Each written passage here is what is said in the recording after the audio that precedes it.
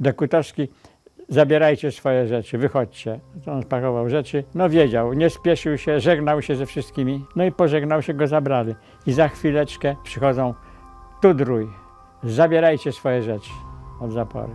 Zabrali do Tudruja, a później za parę minut znowu przyszli i zabrali Arkadiusza Wasilewskiego. No była rozpacz, wiecie, bo przecież Tudrój i Wasilewski to byli młodzi ludzie, mniej więcej w moim wieku, może rok starsi, bo ja byłem najmłodszy podobno w celi z karą śmierci, bo to robili przeważnie po południu, to była godzina gdzieś 19. Myśmy się orientowali, że dzisiaj będą na pewno rozstrzeliwać, bo w ciągu dnia, przeważnie rano, tam wjeżdżał konik i było słychać jak idzie. Myśmy wyglądali, patrzymy, a na tej platformie są skrzynie. Mówimy, oho, będą kogoś rozstrzeliwać. Bo jak ten konik przyjeżdżał i te skrzynki widzimy są skrzynie, to wiedzieliśmy i było, i było, wyprowadzali jakiś więzień.